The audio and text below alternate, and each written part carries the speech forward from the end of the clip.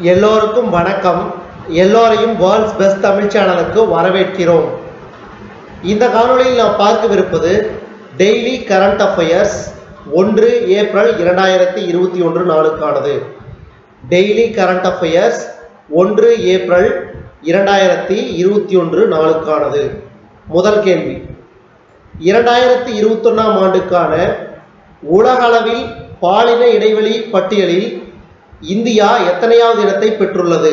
இரண்டாயிரத்தி இருபத்தொன்னாம் ஆண்டுக்கான உலக அளவில் பாலின இடைவெளி பட்டியலில் இந்தியா எத்தனையாவது இடத்தை பெற்றுள்ளது? சரியான விடை நூற்றி நாற்பதாவது இதை பற்றின ஒரு முழு தகவல் அதாவது இந்த பட்டியலில் பன்னெண்டாவது முறையாக ஐஸ்லாந்து முதலிடத்தை பெற்றுள்ளது. அதே மாதிரி Finland Norway New Zealand Rwanda Sweden Ireland Switzerland ஆகிய நாடுகளும் இரு பாலினத்தவருக்கும் சமவாய்ப்பு அளிப்பதில் முதல் பத்து இடங்களில் இடம்பெற்றுள்ளன. அதே மாதிரி நமது நாட்டின் அண்டை நாடுகளான பாலின இடைவெளி பட்டியலில் வங்காளதேசம் அறுபத்தைந்தாவது இடத்திலும் நேபாளம் நூற்றி ஆறாவது இடத்திலும் இலங்கை நூற்றி பதினாறாவது இடத்திலும் பூட்டான் நூற்றி முப்பதாவது இடத்திலும் உள்ளது. இந்தியாவை விட இந்த நாடுகள் முன்னிலையில் உள்ளது குறிப்பிடத்தக்கது. தெற்காசியாவில் இந்தியாவை விட பின்தங்கி இருப்பவைகள் பாகிஸ்தான் வந்து நூற்றி ஐம்பத்தி மூன்றாவது இடத்திலும் ஆப்கானிஸ்தான் நூற்றி ஐம்பத்தி ஆறாவது இடத்திலும் உள்ளன. இது வந்து பார்த்தீங்கன்னா எதனுடைய பட்டியல் அதாவது பாலின சமத்துவமிக்க நாடு. அந்த பட்டியல். பாலின இடைவெளி பட்டியல். இது மிக மிக முக்கியம். அடிக்கடி இந்த மாதிரி இன்டெக்ஸ் கொஸ்டின் கேட்டாங்கன்னா அதாவது இந்த மாதிரி கொஸ்டின்ஸ் வந்து அதிகமாக வரதுக்கு சான்சஸ் இருக்குது. அதனால் வந்து இந்தியாவை மட்டும் ஞாபகம் வச்சுக்காம இந்த பட்டியலில் நமது அண்டை நாடுகளுடைய பட்டியல் பட்டியலையும் ஞாபகம் வச்சுக்கணும். அதே மாதிரி முதல் பத்து இடங்களில் உள்ள நாடுகளையும் ஞாபகம் வச்சுக்கணும். மிக முக்கியமாக பார்த்தீங்கன்னா இந்தியா அதே மாதிரி முதலிடத்தில் உள்ள நாடு கடைசி இடத்தில் உள்ள நாடு. இதை மூன்றையும் ஞாபகம் வச்சுக்கோங்க இந்த மாதிரி இன்டெக்ஸ் கொஸ்டின்ஸ் வந்துச்சுன்னா அடுத்தது. இரண்டாவது கேள்வி இரண்டாயிரத்தி இருபத்தொன்னாம் ஆண்டுக்கான மார்ச் மாத ஜிஎஸ்டி எனப்படும் சரக்கு மற்றும் சேவை வரி வருவாய் எவ்வளவு? இரண்டாயிரத்தி இருபத்தொன்னாம் ஆண்டுக்கான மார்ச் மாத ஜிஎஸ்டி எனப்படும் சரக்கு மற்றும் சேவை வரி வருவாய் எவ்வளவு? இதுக்கு சரியான விடை ரூபாய் ஒரு லட்சத்தி இருபத்தி மூன்றாயிரத்தி தொள்ளாயிரத்தி இரண்டு கோடி. அடுத்து. மூன்றாவது கேள்வி. எந்த மாநில அரசு பெண்கள் பேருந்துகளில் இலவசமாக பயணம் செய்யும் வசதியை ஒன்று ஏப்ரல் இரண்டாயிரத்தி இருபத்தி ஒன்றாம் தேதி அறிமுகப்படுத்தியது. எந்த மாநில அரசு பெண்கள் பேருந்துகளில் இலவசமாக பயணம் செய்யும் வசதியை ஒன்று ஏப்ரல் இரண்டாயிரத்தி இருபத்தி ஒன்றாம் தேதி அறிமுகப்படுத்தியது. இதுக்கு சரியான விடை பஞ்சாப் பஞ்சாப். அதாவது இந்த இலவசமாக பயணம் செய்யும் வசதி வந்து பார்த்தீங்கன்னா வால்வோ பஸ்ஸு பஸ்களுக்கு பொருந்தாது. அதாவது வால்வோ பேருந்துகளுக்கு பொருந்தாது என்பது குறிப்பிடத்தக்கது. அடுத்தது. அதே மாதிரி பார்த்தீங்கன்னா அந்த மாநில பெண்களுக்கு மட்டும்தான் இது வந்து பொருந்தும். மற்ற மாநிலங்களை சேர்ந்த பெண்களுக்கு பொருந்தாது. அதே மாதிரி பயணம் செய்யும் ஒவ்வொரு பெண்களும் அதாவது அடையாள அட்டையை வைத்துக் கொள்ள வேண்டும். அதாவது பஞ்சாப் மாநிலத்தைச் சேர்ந்தவர்கள் என்பதற்கான அடையாள அட்டையை தங்கள் கைகளில் வைத்திருக்க வேண்டும். அடுத்தது.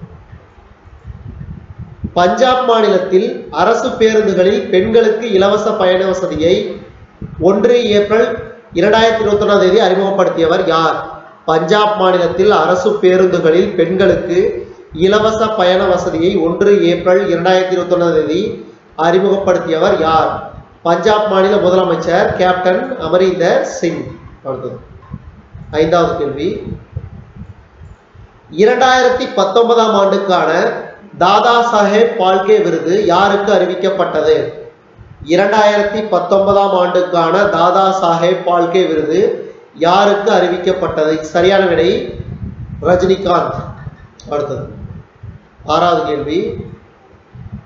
தாதா சாஹேப் பால்கே விருதை பெறும் எத்தனையாவது தமிழ் திரைப்பட கலைஞர் என்கிற பெருமையை ரஜினிகாந்த் பெற்றுள்ளார்? தாதா சாஹேப் பால்கே விருதை பெறும் எத்தனையாவது தமிழ் திரைப்பட கலைஞர் என்கிற பெருமையை ரஜினிகாந்த் பெற்றுள்ளார். இதுக்கு சரியான விடை நான்காவது அடுத்தது தெற்காசிய நாடுகளில் இந்தியா ஆப்கானிஸ்தானுக்கு அடுத்தபடியாக சர்வதேச விமான பயணத்தின் போது பயணிகள் தொலைத்தொடர்பு மற்றும் இணைய சேவைகளை பயன்படுத்த எந்த நாடு அனுமதி வழங்கியுள்ளது வழங்கியது? தெற்காசிய நாடுகளில் இந்தியா ஆப்கானிஸ்தானுக்கு அடுத்தபடியாக சர்வதேச விமான பயணத்தின் போது பயணிகள் தொலைத்தொடர்பு மற்றும் இணைய சேவைகளை பயன்படுத்த எந்த நாடு அனுமதி வழங்கியது? சரியான விடை நேபாளம். அடுத்து எட்டாவது கேள்வி. மத்திய ஆசிய நாடுகளின் வெளியுறவு அமைச்சர்களின் ஒன்பதாவது மாநாடு எந்த நாட்டில் நடைபெற்றது? மத்திய ஆசிய நாடுகளின் வெளியுறவு அமைச்சர்களின் ஒன்பதாவது மாநாடு எந்த நாட்டில் நடைபெற்றது? சரியான விடை தஜிகிஸ்தான். அடுத்தது. ஒன்பதாவது கேள்வி. இந்தியாவில் வரும் இரண்டாயிரத்தி இருபத்தைந்தாம் ஆண்டில் மின்னணு முறையில் பண பரிமாற்றம் நிகழ்வது எத்தனை சதவீதமாக அதிகரிக்கும் என ஏசிஐ வேர்ல்ட் வைட் நிறுவனம் தெரிவித்தது. இந்தியாவில் வரும் இரண்டாயிரத்தி இருபத்தைந்தாம் ஆண்டில் மின்னணு முறையில் பண பரிமாற்றம் நிகழ்வது எத்தனை சதவீதமாக அதிகரிக்கும் என ஏசிஐ வேர்ல்ட் வைட் நிறுவனம் தெரிவித்தது. சரியான விடை எழுபத்தி ஒன்று புள்ளி ஏழு சதவீதம். அடுத்தது. பத்தாவது கேள்வி. ரணா இஸ்மாயில் எந்த விளையாட்டுடன் தொடர்புடையவர்? ரணா இஸ்மாயில் எந்த விளையாட்டுடன் தொடர்புடையவர்? இது சரியான விடை ஸ்குவாஸ் ஸ்குவாஸ் அடுத்தது. பதினொன்றாவது கேள்வி. இந்திய பெண்கள் கால்பந்து அணியின் புதிய கேப்டனாக நியமனம் செய்யப்பட்டவர் யார்? இந்திய பெண்கள் கால்பந்து அணியின் புதிய கேப்டனாக நியமனம் செய்யப்பட்டவர் யார்? இதுக்கு சரியான விடை இந்துமதி இந்துமதி அடுத்தது. பன்னிரெண்டாவது கேள்வி.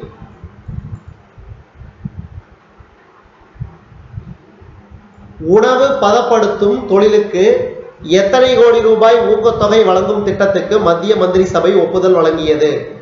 உணவு பதப்படுத்தும் தொழிலுக்கு எத்தனை கோடி ரூபாய் ஊக்கத்தொகை வழங்கும் திட்டத்துக்கு மத்திய மந்திரி சபை ஒப்புதல் வழங்கியது? சரியான விடை ரூபாய் பத்தாயிரத்தி தொள்ளாயிரம் கோடி. பத்தாயிரத்தி தொள்ளாயிரம் கோடி ரூபாய். அடுத்தது. பதிமூன்றாவது கேள்வி. பசிபிக் கோல்டன் ஃப்ளோ என்கிற புதிய ரக பறவை எந்த மாநிலத்தில் சமீபத்தில் கண்டுபிடி கண்டறியப்பட்டது? தமிழ்நாடு மாநிலத்தில் எந்த மாவட்டத்தில் கண்டறியப்பட்டது? பசிபிக் கோல்டன் ப்ளோ இதுக்கு சரியான விடை திருப்பூர் திருப்பூர். அடுத்தது. சிவசேனா கட்சியின் தலைமை செய்தி தொடர்பாளராக அரவிந்த் சாவந்த் நியமனம் செய்யப்பட்டுள்ளார். சிவசேனா கட்சியின் தலைமை செய்தி தொடர்பாளராக அரவிந்த் சாவத் நியமனம் செய்யப்பட்டுள்ளார். அடுத்தது. அலாஸ்காவின் மலைப்பகுதியில் நேர்ந்த ஹெலிகாப்டர் விபத்தில் ஐரோப்பிய கோடீஸ்வரர்களில் ஒருவரான பீட்டர் கெலினர் உட்பட ஐந்து பேர் உயிரிழந்தனர். அலாஸ்கா மலைப்பகுதியில் ஹெலிஸ்கைங் எனப்படும் பனிச்சறுக்கில் பங்கேற்ற இவர்கள் அனைவரும் ஹெலிகாப்டரில் பயணித்தது தெரிய வந்துள்ளது செக் குடியரசைச் சேர்ந்த பீட்டர் ஹெலினர் ஐரோப்பாவில் உள்ள கோடீஸ்வரர்களில் ஒருவராக போர்ஸ் பட்டியலில் இடம்பெற்றவர் என்பது குறிப்பிடத்தக்கது. அடுத்தது. ஆஹா டெக்னாலஜிஸ் நிறுவனம் புதிதாக டிஜிசெல் எனும் இணையதளத்தின் மேம்பட்ட வடிவை உருவாக்கியுள்ளது. அதாவது இந்த இணையதளம் வந்து பார்த்தீங்கன்னா இந்த இணையதளத்தோட மேம்பட்ட வடிவு வந்து பார்த்தீங்கன்னா சிறு குறு நடுத்தர தொழில் நிறுவனங்கள் தங்களது தயாரிப்புகளை இணையதளம் வாயிலாக விற்பனை செய்ய உதவும் இ காமர்ஸ் ஸ்டோர் ஆகும். இதன் மூலம் B to B B to B to B மற்றும் டி டு சி என பல்வேறு தரப்பினருக்கும் பொருட்களை விற்பனை செய்ய முடியும். அடுத்தது. தேசிய கங்கை சுத்தப்படுத்தும் திட்டத்தின் ஒரு பகுதியை செயல்படுத்துவதற்கான ஒப்பந்தம் வாபாக் நிறுவனத்துக்கு கிடைத்துள்ளது. இதன் ஒப்பந்த மதிப்பு எவ்வளவுன்னு பார்த்தீங்கன்னா ரூபாய் ஆயிரத்தி நூத்தி எண்பத்தி ஏழு கோடி ஆகும் இதற்கான பீகார் நகர்ப்புற கட்டமைப்பு மேம்பாட்டு நிறுவனத்துடன் வாபாக் நிறுவனம் ஒப்பந்தம் செய்துள்ளது. அடுத்தது இந்த திட்டத்தின் ஒரு பகுதியாக நானூத்தி ஐம்பத்தி மூணு கிலோமீட்டர் தூரத்துக்கு அதாவது திகா கன்கர்பாக் இடையே கழிவுநீர் சுத்திகரிப்பு பணியையும் இந்த நிறுவனம் மேற்கொள்ளும். இதன்படி நாளொன்றுக்கு நூத்தி ஐம்பது கோடி லிட்டர் தண்ணீரை இந்த நிறுவனம் சுத்தப்படுத்தும். அடுத்தது. பிரேசில் நாட்டில் முப்படை தளபதிகள் ஒரே நாளில் ராஜினாமா செய்துள்ளனர். ராணுவ தளபதி எட்சன் வீல் புஜோல் கப்பல் படை தளபதி ஆடம் இல்கஸ் பார்போசா மற்றும் விமானப்படை தளபதி அண்டோனியோ கார்லோஸ் ஃபெர்முடஸ் ஆகிய மூன்று பேரும் முப்பது மார்ச் இரண்டாயிரத்தி இருபத்தி ஒன்றாம் தேதி தங்களது பதவியை ராஜினாமா செய்தனர். பிரேசில் வரலாற்றில் அதிபர் உடனான கருத்து வேறுபாட்டில் முப்படைகளின் தளபதிகள் ஒரே அணியில் நிற்பது இதுவே முதல் முறை என்று கூறப்படுகிறது. அதாவது தற்போது பிரேசில் நாட்டின் அதிபர் யாருன்னு பார்த்தீங்கன்னா ஜெயித் பொல்சனாரோ என்பது குறிப்பிடத்தக்கது. இதுவரைக்கும் நம்ம இந்த காணொலியில் பார்த்தது பார்த்தீங்கன்னா டெய்லி கரண்ட் அஃபேர்ஸ் ஒன்று ஏப்ரல் இரண்டாயிரத்தி இருபத்தி ஒன்று நாளுக்கானது. டெய்லி கரண்ட் அஃபேர்ஸ் ஒன்று ஏப்ரல் இரண்டாயிரத்தி இருபத்தி ஒன்று நாளுக்கானது. இந்த காணொலி உங்களுக்கு பிடிச்சிருந்துச்சுன்னா லைக் பண்ணுங்க கமெண்ட் பண்ணுங்க. மறக்காம இந்த காணொலியை உங்க நண்பர்களுக்கு மட்டும் ஷேர் பண்ணுங்க. இது வரைக்கும் நம்ம வேர்ல்ட்ஸ் பெஸ்ட் தமிழ் சேனலை சப்ஸ்கிரைப் பண்ணாதீங்க சப்ஸ்கிரைப் பண்ணிக்கங்க. கீழே இருக்கிற பெல் பட்டனை ப்ரெஸ் பண்ண மறந்துடாதீங்க. நம்ம வேர்ல்ட்ஸ் பெஸ்ட் தமிழ் சேனல்ல டெய்லி கரண்ட் அஃபேர்ஸ் அதாவது தினசரி நடப்பு நிகழ்வுகள் ஒன்று ஏப்ரல் இரண்டாயிரத்தி இருபத்தி ஒன்று நாளுக்கான காணொலியை நம்ம வேர்ல்ட்ஸ் பெஸ்ட் தமிழ் சேனல் வாயிலாக பார்த்தமைக்கு நன்றி.